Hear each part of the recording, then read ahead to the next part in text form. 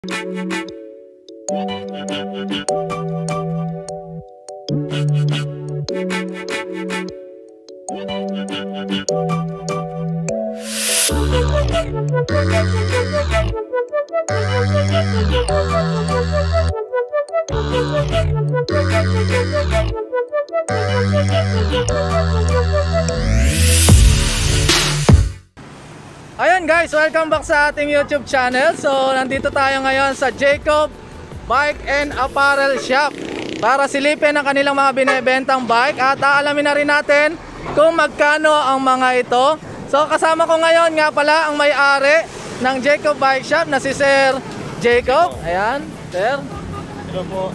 So, Sir, ah, kayo ba yung ano, yung nagtitindas dati sa arena? Yes, ako rin dito sa arena kaya lang ngayon ginagamit sa facility sa COVID. Kaya stop muna. Ah, okay. So sila yung nakita ko dati na nagtitinda ng ah, bike parts sa may arena. So kung kayo'y namamasyal sa arena noon, way back 2016, 2015, basta ganon, ah, sila yon. So ito na sila ngayon. So may shop na sila ngayon dito sa Bukawi. Ayan. So ito yung kanilang shop. Shoutout nga pala kay Sir Edward Agudo. Edbar Agudo. Ayan. So ito yung ah, pinaka-shop nila. Tapos doon naka-display sa kabila yung ibang bike na binebenta nila. Okay? So tara, pasok tayo rito at alamin natin kung ano yung mga bike na binebenta at ang mga presyo na to. Huwag kayong mag-alala guys, mga budget meal lang to. Okay, kasyang ka, ah, kayang-kaya ng mga budget nyo to. Okay, ayan guys. So nandito tayo si andito tayo kasama natin si Marie Chris para alamin natin yung mga price ng mga bike na naka-display dito kay Jacob. Okay, so kunahin natin. Okay, ano to? M1 Elite Hydro. Trings M1 Elite Elite Hydro. Magkano ganito? 95. 9,500 Hydro na to, guys. Kisto Striker 87. 8,700. natin yan. So, ganun din. 9.5 to, no? 9.5. Itong Trings Majestic 100, 9.5 din. So, 9.5 at 8,700. So, naka-hydro na lahat yan. Dito sa kabila, ganun din, Striker. Trings M1, ganun din. Ito. So ito mechanical guys. Magkano ganitong mechanical? 7,000 guys. Yung trings na mechanical nila. So ayan. So dito sa loob, meron pa tayong naka-display. So meron tayong dito fat bike. 13 13,500 trings na fat bike.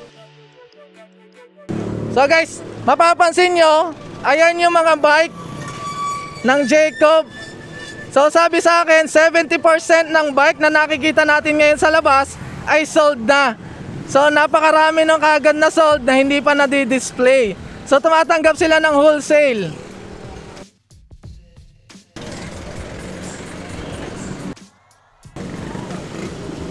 So, case to.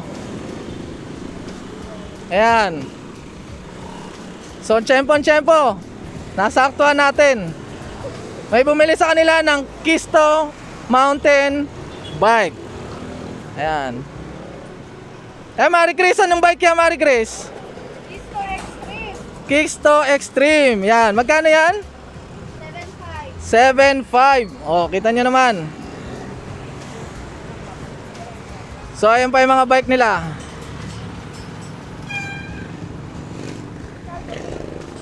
So, may freebies. So, pag bumili kayo ng bike, may kasamang freebies yan. Every bike. So, yun guys, meron din tayo ditong Foxter Ivan, Heroic, Saka Stout Avengers, Stout Race, Stout Race. Meron tayo dyan Stout Race, saka Stout Avenger, ah, Trevor. So ito guys, ah, meron tayo ditong Stout Avengers, Rings M100, Kista Striker, M100. Tapos dito meron din tayong Trinks. Ito naman ang ating Stout Race. Meron din silang folding bike. Ayan. So kung naghahanap kayo ng folding bike, meron din dito. So folding bike, mountain bike, at fat bike. Meron din dito. Ayan. So price range nito from 8,500 to 9,500. Kung di ako nagkakamali guys, ang Trinks na to is 9,500. Stout, Scout, uh, Race, Hydraulic, Manual Lockout, 8,500 to. Yan, 8,500. Yung Scout Avenger natin guys, nagkakalaga to ng 8,000. Hydraulic. Yan, Scout Avengers. Ang pinagkaiba ng Scout Avengers sa kanang Scout Race, ah yung ano lang niya, yung lockout. Ito may lockout. Yung Avengers, wala. So, meron din tayong ah, Majestic yan. So, yung iba dyan, for pickup na. So, ganyan karami ang bike na pwede nyo mabili dito sa Jacob. Yan, nakita nyo naman. So, ayan yung mga for pickup na bike. Dito lang yan sa Jacob, syempre. Kita nyo naman. So inaayos. Nihintay lang kasi pick upin niya nung ah, buyer. Ayan guys, meron din tayo ditong Strong Evans na folding bike. Steel frame. ah mechanical disc brake. So nagkakahalaga ito guys ng 5,000 lang to guys. So 5,000 folding bike. Yan. Ayan guys, ah meron tayo dito nakita. Trinks Dolphin 2.0. So nagkakalaga ito na ng 11,000. 11,000. Ayan guys, so meron ka ng folding bike ng 11,000. Trinks 2.0 Dolphin. Yan. Eh, helmet. Ayan, meron tayong helmet. Marikas magkano yung helmet? 350 pinakamura. Ayan. Ayan, 350. 700, umiilaw yung likod. Yung sa taas na pula, 920. Ayan, 920. Ayan. Sa gulong, magkano gulong natin? Kenta, 1-1. Kenda 11 pares. Yan. Sa rim? Sa rim magkano? Ha? 900 pares. 900 pares. Yan. So yung pinakamurang price na yan. Si Marie Chris ang walang kapares. Si Marie Chris ang walang kapares. Naghanap ng kapares yan. Sa grip. Sa grip. Ay hindi pala grip yun. Ah, chain guard. Magkano chain guard? 150. Crank, ah, crank boots? Crank boots tama ba? Yung kulay green? 150. Yan. Sa shock. Ayan, meron tayong shock. 3.5 yung pinakamura.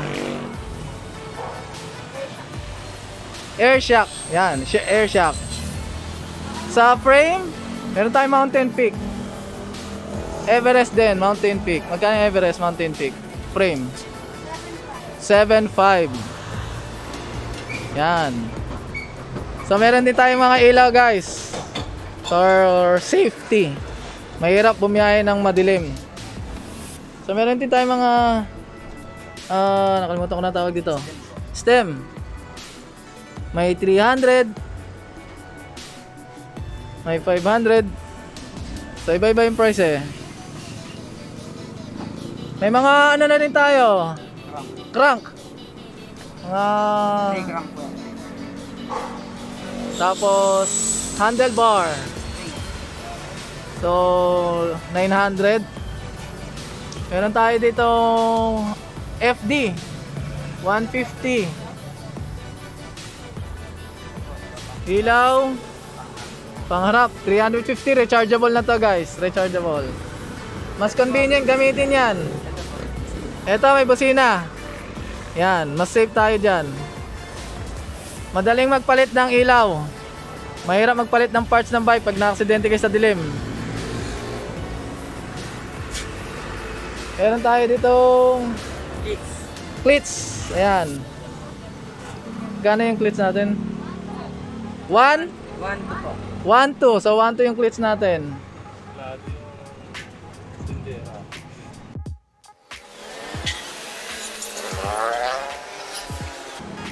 So yun guys, nag-aayos sila ng ah, mga stock para doon sa kanilang mga wholesaler.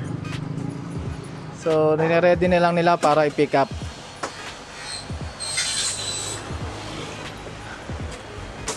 Ayun ang heroic oh. Heroic hub. Kumikinang-kinang pa.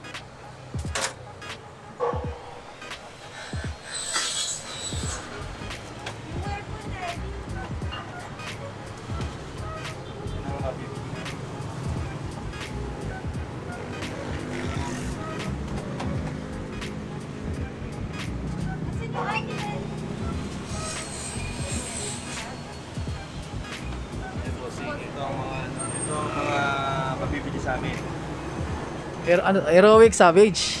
Yes. Ah, Weapon Savage. Weapon Savage. Yan.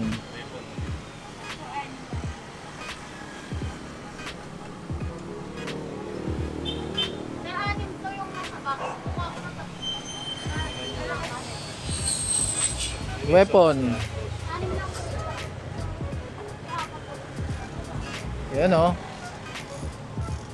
So kung naghahanap kayo ng hub, crank, frame. Yan, meron dito yan. Punta lang kayo sa Jacob.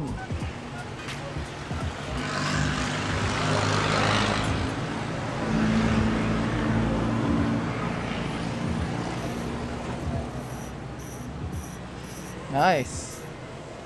Ayos, ayos.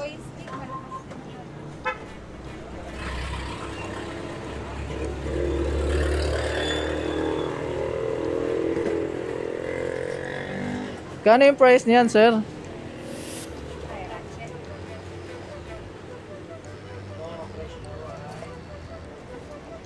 Weapon. 4,000. Weapon. Animal ratchet. Weapon animal ratchet. 4,000. 3,600. Yan. Ito naman, Heroic Hub. Yan. Mari Chris, magkano yan? 3,000. 3,000. Yan.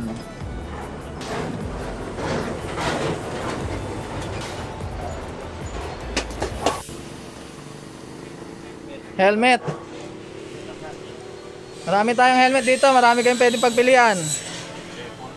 Weapon. Yan. Hub. Ay, hub.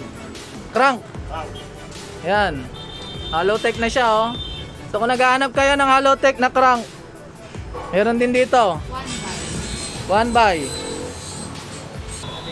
Si Sir Edward Agudo, isang reseller yan ni Sir Jacob. Yan. Kita nyo naman yung price niya. Ah, budget meal. So pwedeng pwede kayo dito mag-resell saka mag-wholesale. So kung na- mura. Oh, yun, murang-mura. Kita nyo naman, oh. Taga-tondo pa yan, pero pumupunta rito sa Bukawi. Ah, taga-tondo ako, tondo. Ayan. So guys, ayan lang ang dala niya. From Tondo, pumupunta ng Bukawi para lang kumuha ng bike. Then, i-resell niya yan. Okay? So kung naghahanap kayo ng bike for resale, pwede rin dito, wholesale. Ito, mga mamayari na yan. Hinihintay lang pick upin. Yan, nakita nyo naman. Hanggang dun sa likod dyan, ayun. Yan o. So napakamura ng bike dito guys. Naabutan natin na magkakarga ng bike sa van. So yan ang nagpapatunay na napakamura ng bike dito sa Jacob Bike and Apparel Shop. Kita nyo naman, wholesale yan. So pipick upin niya ng van para ma-deliver doon sa kanilang buyer. So ayan, sasakay lahat yan. Ewan ko kung magkakasya lahat yan doon sa van. So guys, tumatanggap nga pala sila ng wholesale and reseller ng mga bike. So kung kailangan nyo or kung gusto nyo mag-wholesale at resale, kontakin nyo lang si Jacob Bike and Apparel Shop or sadyain nyo dito sa Binyang 2nd Bukawi, Bulacan. So ayan, makikita nyo, magkakarga tayo ng bike. Ay, magkakarga sila ng bike. Yan. Shoutout kay Kuya Transportify. Yan. Di natin alam kung ilan ang kakasya dito.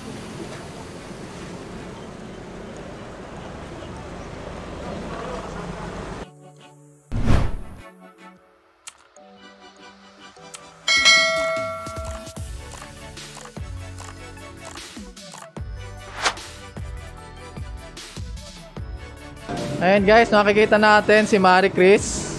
Nagche-check yan ng mga order para ma-deliver ni Transportify. Yan.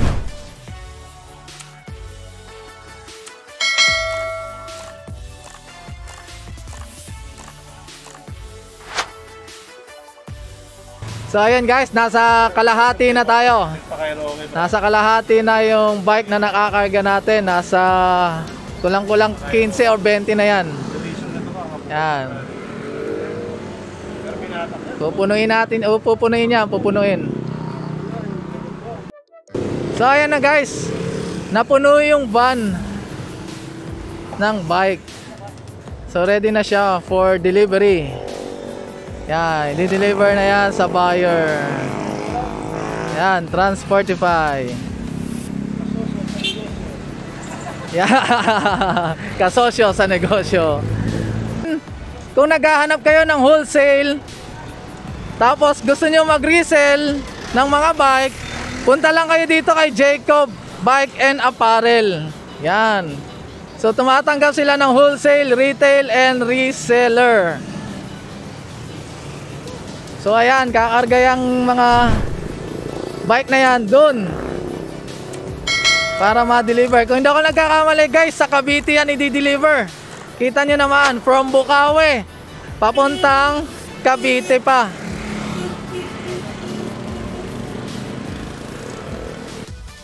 Ayan guys, so kung kailangan nyo ng bike, dito lang, punta lang kayo sa Jacob Bike and Apparel. So siya nga pala, mamimigay si Sir Jacob ng helmet. Yan, para sa mga subscribers natin. So ibibigay na helmet ay Weapon. weapon. Yan. So kung gusto nyo makakuha yung helmet, huwag kalimutan mag-subscribe sa ating YouTube channel. Ipaparapon natin yan sa susunod na video natin. So, hanggang dyan na lang ang video natin guys. So kung nagustuhan nyo yung video, huwag kalimutan mag-subscribe para magkaroon kayo ng tsansa na mapanalunan ang helmet na to. Ang ganda nito guys. Yan. Promise. So yun lang. Maraming salamat sa panonood. Bye-bye.